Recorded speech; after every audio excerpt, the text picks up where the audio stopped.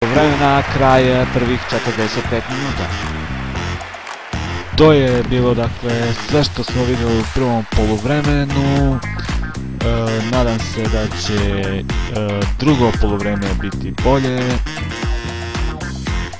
Poštovani gledalci, dakle prvo poluvreme je završeno, rezultat je 1-0.